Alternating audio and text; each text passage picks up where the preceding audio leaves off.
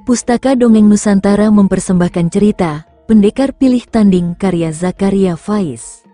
Sahabat Pustaka Dongeng Nusantara yang berbahagia, pada kesempatan yang baik ini kita masuk pada episode yang ke-56.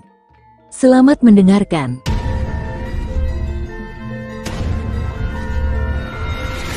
Mungkin diriku memang telah lumpuh, tetapi kalau hanya untuk membunuh seekor kecoa, aku masih sanggup, ucap Macan Baleman. Ah, kau cepat tersinggung macan baleman. Aku hanya sekedar bercanda, jangan terlalu diambil hati, balas Candala Gati. Karena Candala Gati itu tidak ingin ada singgungan dengan murid Resi Brangah itu. Karena bagaimanapun juga, Resi Brangah dan Resi Yaramala bersahabat cukup erat, sehingga Resi dari Hindustan itu mau saja diundang oleh Resi Brangah untuk datang ke Tanah Demak ini. Namun Ki Rajunganlah yang tidak senang melihat tingkah dari Candala Gati itu, seakan-akan ia orang paling sakti di muka bumi, datang ke tempat itu dengan menghancurkan pintu rumah tersebut. Agak lama kelima orang itu terdiam sampai datanglah seorang muridnya yang bernama Rawit itu. Bagaimana? Siapa gadis itu? Tanya Candala Gati kepada Rawit. Ia putri Jagabaya Tanah Perdikan Mantiyasih ini, guru, jawab Ki Rawit. Putri Jagabaya, memang apa hebatannya dengan Jagabaya itu? Sekali tusuk dengan trisulaku ini, ia bisa langsung ke akhirat, kata Candala Gati. Tetapi tampaknya perempuan itu merupakan kekasih dari putranya Ki Gede Mantiasih ini, guru, jelas Ki Rawit lagi. Ah, kau terlalu bertele-tele, Rawit, cepat sebutkan siapa nama gadis itu, biar nanti aku sendiri yang akan ke rumahnya, sahut Candala Gati dengan geramnya. Baba-baba Aik Guru, namanya adalah Kinanti, Guru, jawab Ki Rawit. Ia ketakutan setelah melihat gurunya marah dengan mata melotot sambil memilin kumisnya. Untuk sementara ini, kalian jangan ada berbuat kerusuhan di tanah perdikan Mantiyasih ini. Jika memang usaha ini ingin berhasil, terdengar kata-kata dari Macan Baleman. Heh, apa urusanmu dengan aku yang akan mengambil putri Jagabaya itu? Tanya Candala Gati Berang, jelas ada. Karena selaku penanggung jawab di sini atas nama guruku Resi Brangah, ku perintahkan kepada kalian semua yang ingin bergabung, jangan membuat tindakan yang akan merugikan kita sendiri, karena yang hadir di sini bukan kita saja. Bahkan Wiku Mandrayana pun telah ada di sini tepatnya di rumah Ki Gede, jelas Macan Baleman. Apa? Wiku Mandrayana ada di sini, seru Candala Gati. Ia cukup terkejut dengan ucapan terakhir dari macan baleman itu. Heh, ini kesempatanku untuk menuntut balas atas kekalahanku tempo hari, berkata dalam hati Candala Gati. Di rumah Ki Gede Mantiasi sendiri, kehadiran Candala Gati itu telah menimbulkan perbincangan. Adalah Ki Gede sendiri dan Ki Jagabaya yang membahas masalah itu. Tampaknya dengan kehadiran Candala Gati, kita harus semakin meningkatkan kewaspadaan Ki Gede, tutur Ki Jagabaya. Benar ucapanmu itu, Jagabaya, tadi ada laporan dari salah satu pengawal Mantiyasih bahwa putrimu, Angger Kinanti telah diikuti oleh salah seorang muridnya hingga sampai ke depan pintu. Sahut Ki Gede Mantiyasih, benar Ki Gede, bahkan Kinanti sendiri telah mengatakan sendiri kepadaku, ujar Ki Jagabaya. Sebaiknya kita perketat penjagaan di daerah ujung pedukuhan induk ini, Romo, kata Rasala. Lebih baik begitu Angger Rasala, jangan sampai kita kecolongan dengan tokoh sesat itu, dan kepada para anak gadis yang ada di pedukuhan induk disarankan untuk tidak kekali kalau mau mencuci pakaian, kata Ki Jagabaya lagi. Atau kalau memang terpaksa mereka harus kekali harus dengan penjagaan dari para pengawal, kata Ki Gede Mantiyasih. Apa tidak sebaiknya Wiku Mandrayana kita beritahu, Romo? Tanya Rasala, usul yang baik itu, Ger, sahut Ki Jagabaya. Sebaiknya Angger Rasala sendiri yang memberitahukan kepada Wiku Mandrayana itu, tentang kehadiran Candala Gati, kata Ki Gede Mantiasih kepada putranya. Baik, Romo, biar aku saja yang akan mengatakan kepadanya, jawab Rasala. Putra Ki Gede Mantiasi itu kemudian bangkit dan meninggalkan Ki Gede dan Ki Jagabaya. Ia langsung menuju ke rumah yang berada di sebelah rumah Ki Gede itu. Sesampainya di sana dilihatnya, Andana dan Andanu tengah duduk. Duduk di sebuah amben bambu, di mana Wiku Mandrayana, Andana? Tanya Rasala, guru sedang pergi. Rasala, jawab Andana. Ke mana perginya? Tanya Rasala lagi.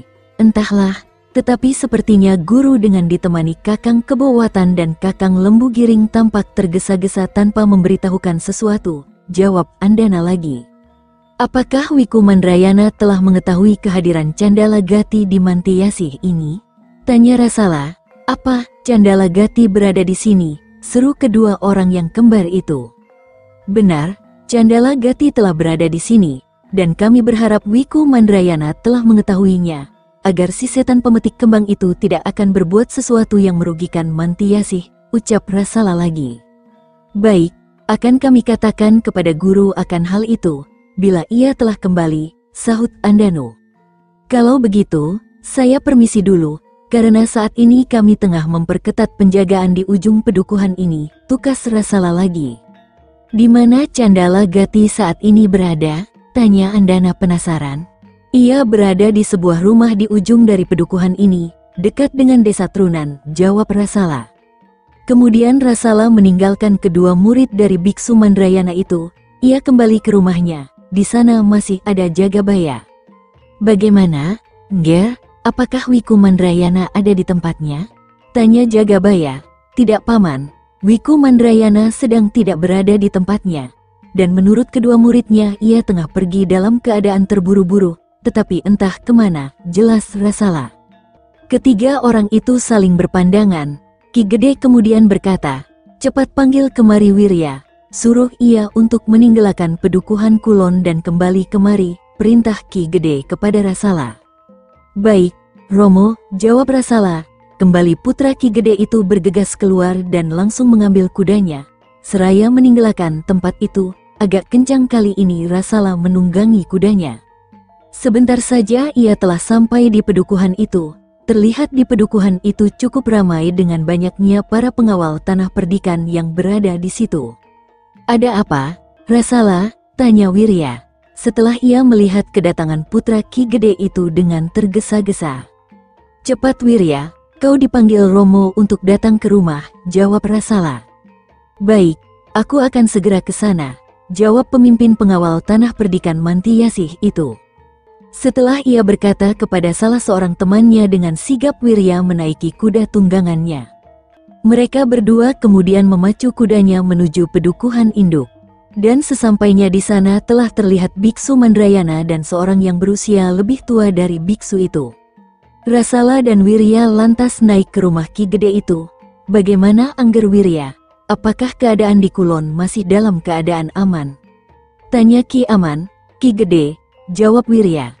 Kalau begitu kita dapat lebih memusatkan seluruh perhatian pada pedukuhan induk ini, karena selain macan baleman telah hadir pula, si Candala Gati, setan pemetik kembang, aku tidak mau kecolongan, ungkap Ki Gede Mantiasih lagi.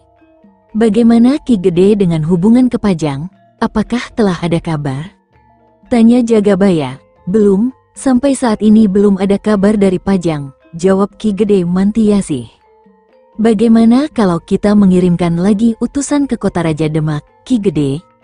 Tanya Jagabaya lagi, memang ada baiknya saran tersebut, karena jika mereka berhasil dengan usahanya itu, bukan hanya Mantiasih yang dirugikan tetapi seluruh telatah Demak ini akan terkena akibatnya, jawab Ki Gede.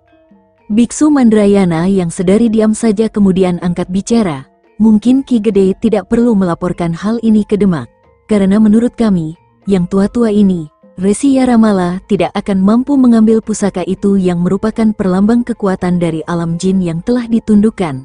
Di sini saya ingin memperkenalkan, saudara saya yang telah datang dari Tibet. Beliau inilah yang bernama Biksu Mahagelang, jelas Biksu Mandrayana. Wiku Mahagelang, dari Tibet, tanya Ki Gede Mantiasih itu agak terperangah. Ia pernah mendengar nama itu dahulu disebutkan oleh beberapa orang, dan baru kali ini ia bertemu sendiri dengan orangnya.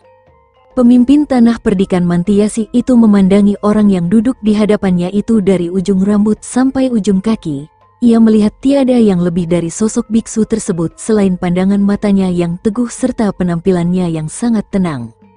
Dengan jubah kebesaran seorang biksu ditambah sebuah tasbih yang agak besar yang ada di tangannya, sosok biksu Mahagelang tampak biasa saja.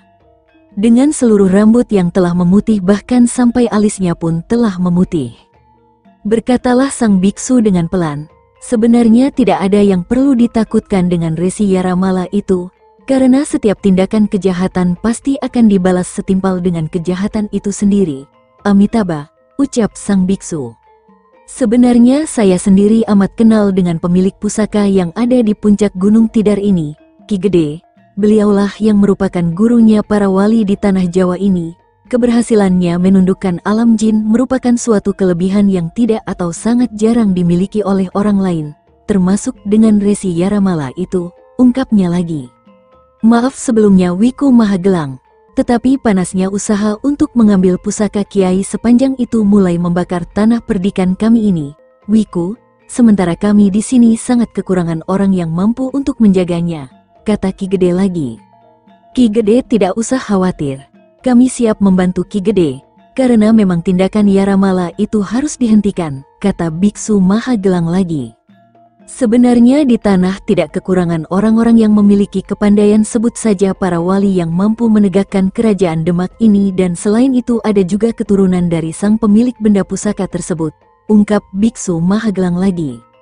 Maksud Wiku, penguasa Pengging, tanya Ki Gede Mantiasih itu.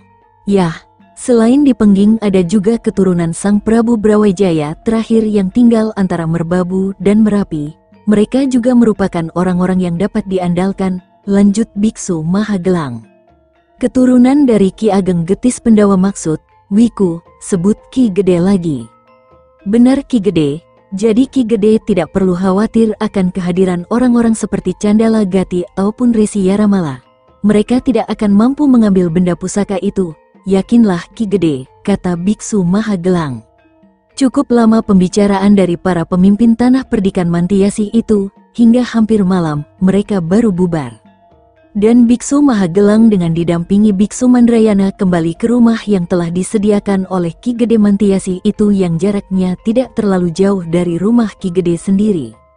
Sementara Anggono yang telah berjalan cukup jauh meninggalkan Kadipaten Pajang melihat di belakangnya ada dua ekor kuda yang mengerjar langsung ia tancap gas, ia khawatir bahwa yang mengekori itu adalah musuh yang ingin menghambat perjalanannya.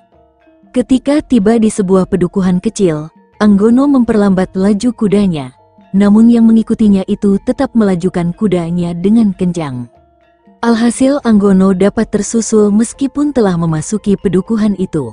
Heh, Kakang Anggono, mengapa meninggalkan kami? teriak orang itu.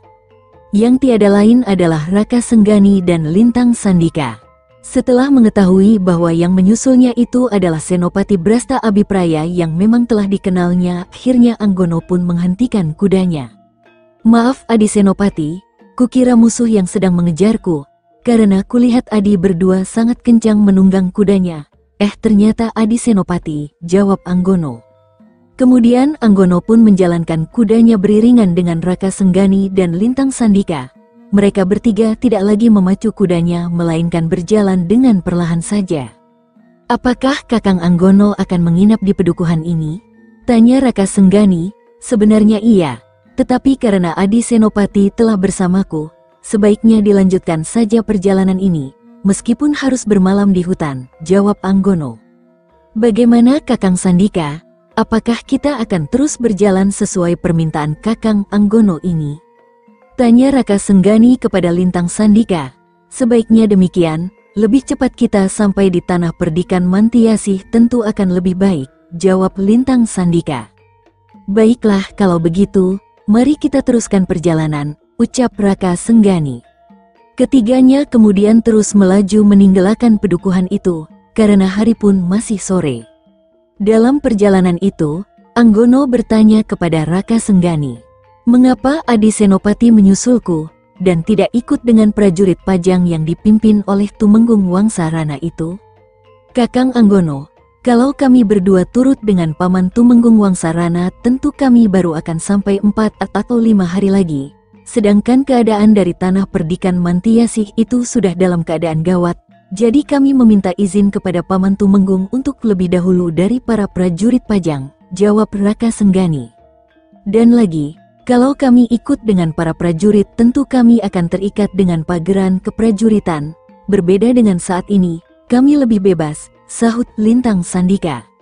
Memang perkataan dari prajurit Demak itu ada betulnya, terutama bagi Lintang Sandika sendiri yang ingin menyendiri untuk mengurangi susah hatinya. Dalam pada itu di pelabuhan Asem Arang terlihat, seorang tua yang tengah mendekati sebuah penginapan yang ada di kota pelabuhan itu. Orang tersebut berpakaian seorang resi, dengan entengnya ia mendekati tempat itu. Sambil tidak henti-hentinya ia menatap orang-orang yang sedang berlalu lalang di tempat itu. Hem, di mana Resi Yaramala itu menginap, katanya dalam hati. Ia terus masuk ke dalam rumah penginapan itu. Setelah berada di dalam ia kemudian bertemu dengan salah seorang pelayan penginapan itu. Mau memesan kamar? Ki, tanya pelayan itu. Ah, tidak, aku hanya ingin bertemu dengan seseorang. Jawab orang itu, Ingin bertemu seseorang siapa? Tanya pelayan itu lagi. Namanya Resi Yaramala. Ia dari tanah Hindustan dan berpakaian seperti diriku, jelas orang itu lagi. Oh, orang yang dari tanah Hindustan, tanya pelayan itu, benar. Apakah kau pernah melihat niat apakah ia menginap di sini? Tanya orang itu lagi. Ya, Ki, orang itu memang menginap di sini. Tepatnya berada di bilik paling ujung dari sini, Jawab pelayan itu lagi. Terima kasih, aku harus segera menemuinya, sahut orang itu. Silahkan Ki, kata pelayan penginapan itu. Kemudian orang yang berpakaian resi itu berjalan menuju tempat yang telah ditunjukkan oleh pelayan penginapan itu. Sebentar kemudian ia telah sampai pada bilik yang paling ujung tersebut. Perlahan ia mengetuk pintu bilik dan terdengar suara dari dalam, siapa di luar? Aku, Jawab orang yang berada di depan pintu bilik itu. Aku, siapa? Bicara yang jelas jangan sampai tongkatku ini yang bicara, sahut dari dalam bilik. Ah, sepertinya, seorang Resi Yaramala mudah marah saat ini, dan suaraku pun, engkau tidak mengenalnya, jawab Desri luar. Sontak saja pintu bilik itu terbuka lebar dan orang yang berada di dalam itu langsung melesat keluar. Kaukah itu? Berangah, ucapnya, Ah, sebagai teman lama, mengapa tidak dapat mengenali suaraku Yaramala? Jawab Resi Brangah. Sudahlah, mari masuk. Ajak Resi Yaramala itu, keduanya kemudian masuk ke dalam bilik, dan Resi Yaramala kembali menutup pintu itu. Heh, apa kabarmu, Brangah? Tanya Resi Yaramala. Baik dan bagaimana denganmu Yaramala? Sudah berapa lama di tanah Jawa ini? Tanya Resi Brangah. Keadaanku pun sangat baik. Aku telah berada di sini hampir dua hari, jawab Resi Yaramala. Apakah kau telah menyiapkan sesajen untuk upacara kita nanti? Tanya Resi Yaramala lagi.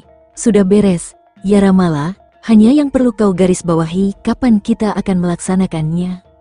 Tanya Resi Brangah, waktunya adalah setelah purnama, baru kita akan melakukan pengangkatan pusaka kiai sepanjang itu, jawab Resi Yaramala.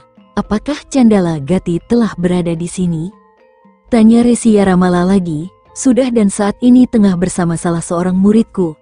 Jawa mencapai Resi Brangah, bagus kalau begitu, secepatnya kita meninggalkan tempat ini, kata Resi Yaramala. Selang tidak terlalu lama kedua resi itu segera meninggalkan kota pelabuhan itu dan langsung menuju ke tanah perdikan Mantiasih. Bagaimana Brangah jika kita berlomba cepat untuk sampai ke Gunung Tidar itu?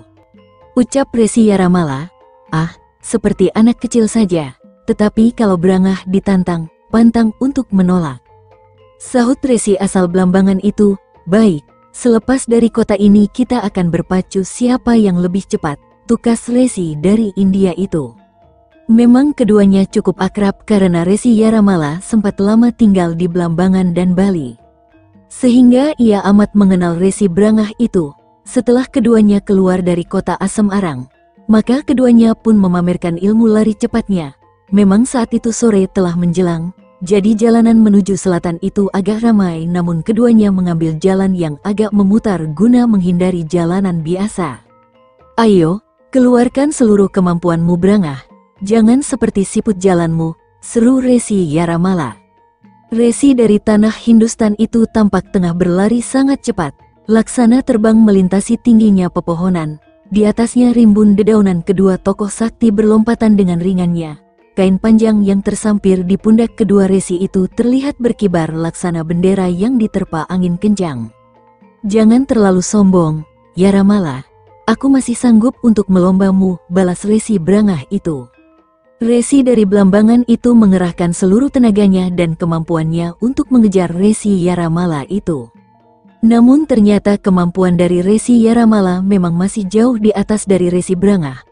Walaupun seluruh tenaganya telah dikeluarkan sepenuhnya tetap saja Resi Brangah tertinggal agak jauh dari Resi Brangah.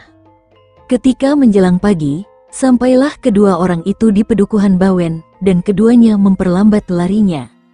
Bagaimana, Brangah, apakah kau mau mengakui keunggulanku? Tanya Resi Yaramala. Resi Brangah diam saja, ia memang masih kesal karena tidak mampu melampaui Resi Yaramala itu. Jangankan melampauinya membuat jarak yang dekat saja sangat sulit. Sehingga mau tidak mau ia mengakui keunggulan dari Resi Yaramala itu. Tubuhmu sudah terlalu tambun, Berangah nampaknya kau telah menjadi pembesar yang memiliki jabatan tinggi di Belambangan sehingga kau tidak pernah melakukan lari seperti tadi. Ha, ha, ha, kata Resi Yaramala sambil tertawa. Memang mungkin aku kalah dalam hal lari akan tetapi dalam hal yang lain aku masih sanggup untuk mengatasimu Yaramala, jawab Resi Brangah. Sudahlah, Brangah lupakanlah hal tadi, lebih baik kita beristirahat saja di pedukuhan itu dan mengganjal perut di sana, ucap Resi Yaramala. Baik, baik, kita memang harus mengisi perut di pedukuhan itu, jawab Resi Brangan keduanya pun berjalan perlahan menuju ke pedukuhan itu. Sedangkan di tanah perdikan Mantiasi itu, telah terjadi kehebohan dengan hilangnya salah seorang gadis. Bagaimana ini Ki Gede, putri dari Ki Sudirjo telah menghilang tadi malam, dan sampai saat ini belum kembali, jelas Ki Jagabaya. Hah, apakah kalian telah memeriksa tempat Candala Gati itu? Tanya Ki Gede dengan geramnya. Sudah Romo, tetapi kami tidak menemukan Tinampi, apakah tadi malam kalian tidak berjaga dan mengawasi rumah itu?